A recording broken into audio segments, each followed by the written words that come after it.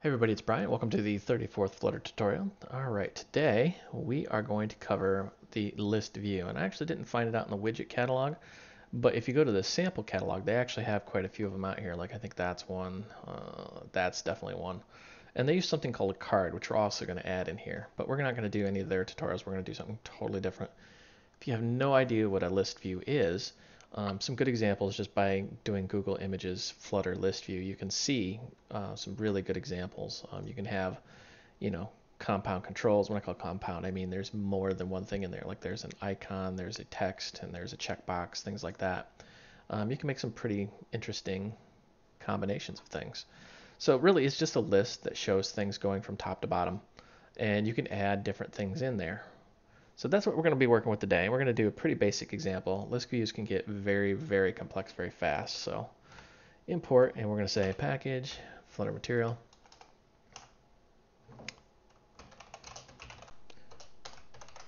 All right, we're just going to set up our normal application here.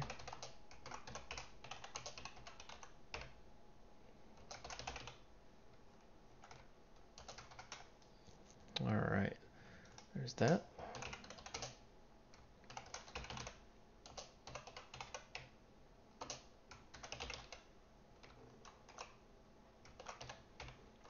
Can extend the state of my app here.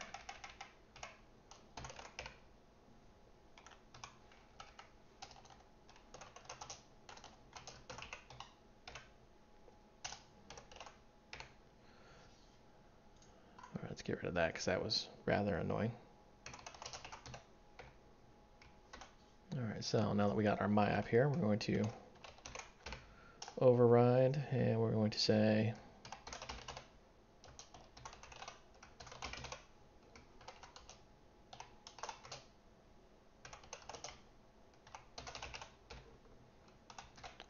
make a new state for our stateful widget. All right, then in the state, this is where the action is really going to happen here. And what we're going to do is we're going to say,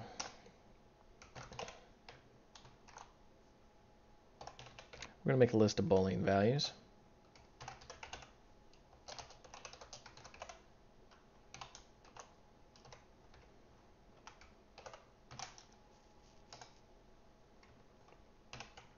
And then we are going to override the init state.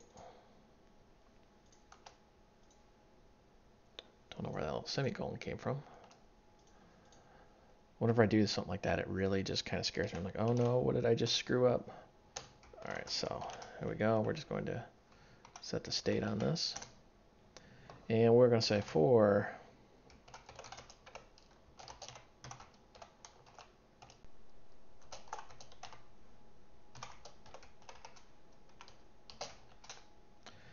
And we're going to say, we're going to just set everything to false by default.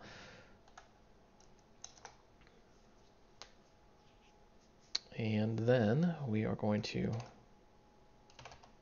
my fingers are cold. It is like freezing outside. Even with the furnace going full blast, it's still cold in here.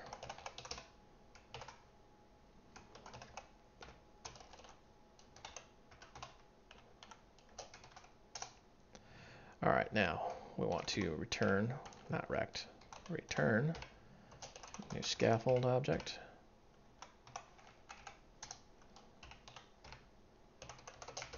Going to make an app bar, and on that we're going to say the title. And we are just going to say this is a list view demo.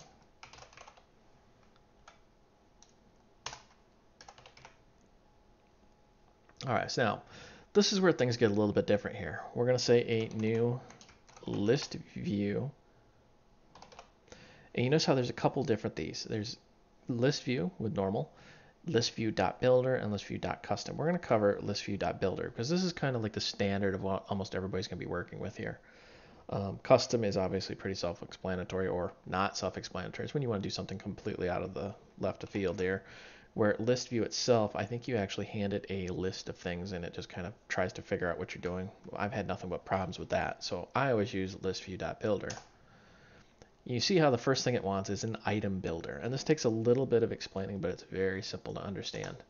So when you have a list of items, and let's flip back to our graphic here, you notice how they're all kind of standard size here.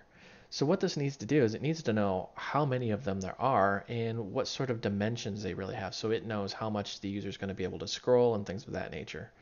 So you can see how this is different than say this or even say that. You know, they're just different shapes. So let's go back in here.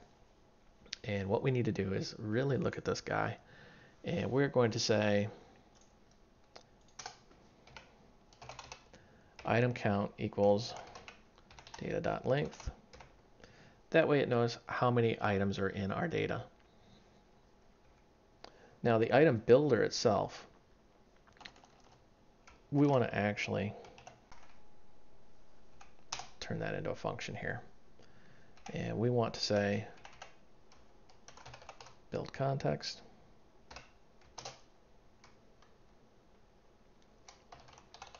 So we can hand over the context if we needed to. Probably help if I spell get build context right.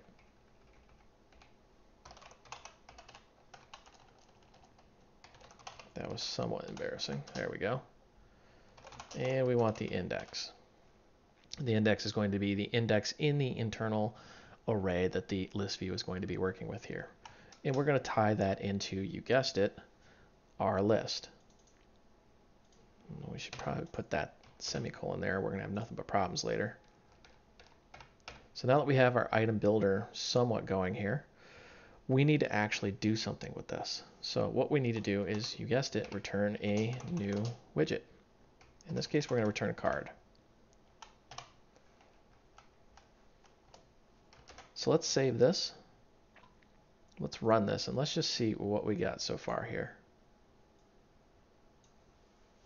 I kind of want to explain it as we go because it gets a little bit in depth, but it's kind of easy once you wrap your head around it.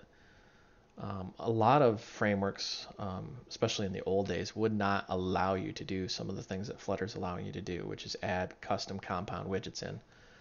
All right, so you can see there is our app bar, and there is absolutely nothing here. So we need to figure out what's going on here. Probably the first thing you'll notice is that we did not add in the correct data. So we have a new card. And in here, we're going to child new container padding, why not? 32.0 because I love that number. And then child. In the container, we're going to have a new column. Whoops. New column filled with children. And the children in there are going to be, let's just kind of move this up so you can see it.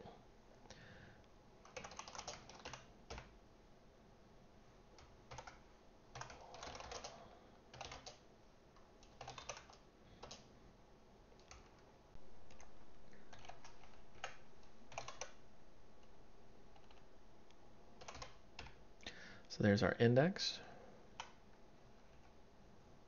And then we are going to add in a new checklist tile. And the value of this little guy, actually let's break this down so it's easier to see what's going on here.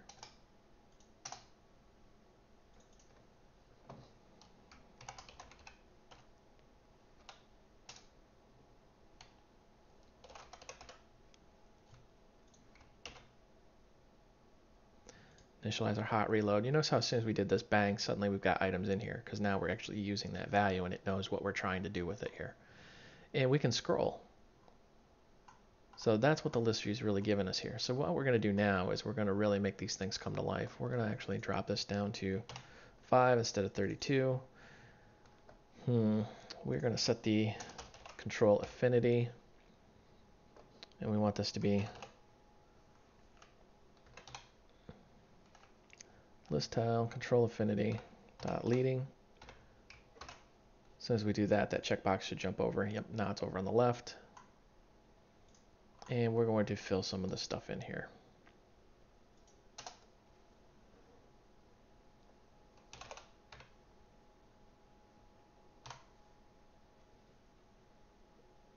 Hmm, I don't know what I want to put in here. How about we just say new text I'm kind of going off script here. Uh,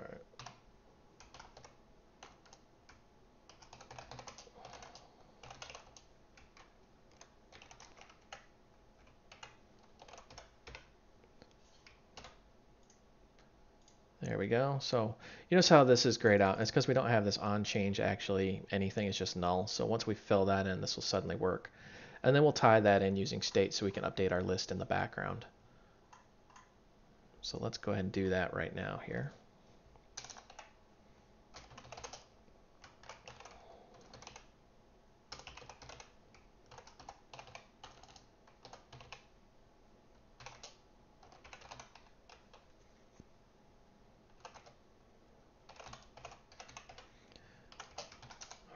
So set state.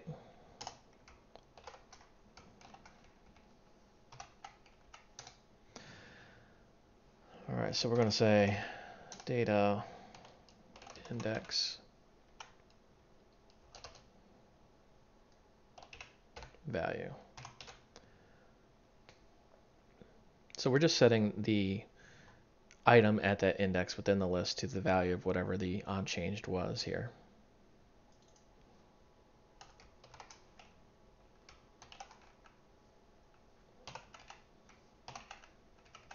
And here we're going to say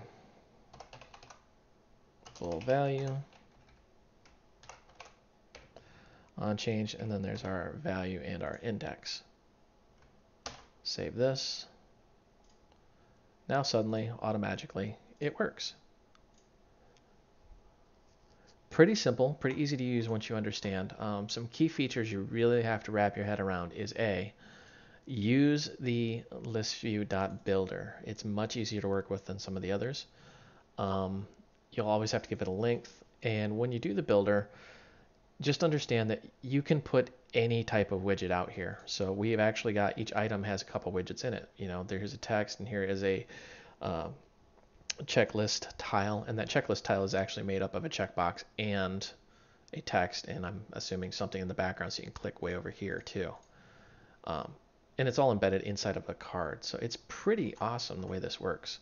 And we can actually, let's just do this. Perform a hot reload on this. You see how now, whoops, maybe now we have to rerun the whole thing from start. There we go. So now it'll just go and go and go, and we've got all the way up to a thousand. Pretty simple, pretty easy to use, and personally, I like it. I mean, compared to other frameworks out there, it is just ridiculously simple to work with. Um, if you've ever had to juggle like list view adapters and models and things like that, it's such a pain. This is so much easier. Um, so what you should really tie into is you'll have some sort of back-end data. Um, in this case, I just have a list of bools, but you can have a list of any sort of class and then have the data inside of that class.